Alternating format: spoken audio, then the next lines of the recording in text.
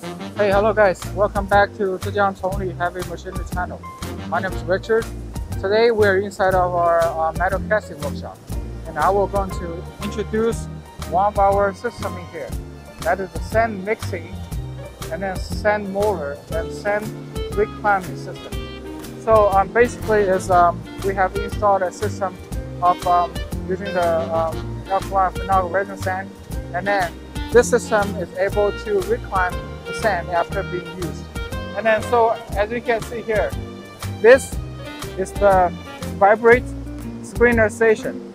So so after uh, the sand is used with metal casting, it is hardened, and then you put the whole metal casting onto this platform, and through vibrating, the sand will fall off and being reclaimed by this system.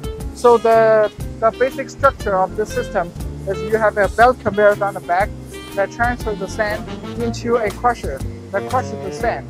And then through the frictional motions, this system is able to get rid of the resins on the surface of the sand and then to achieve the um, effect.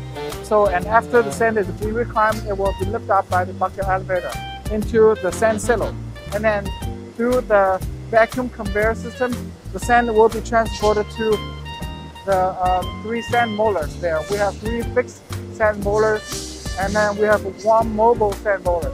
So um, by this, we are replacing the manual um, sand molding by um, automatic sand molding, uh, robotic sand molding. So yeah, that's pretty much the uh, sand recycling system in our workshop.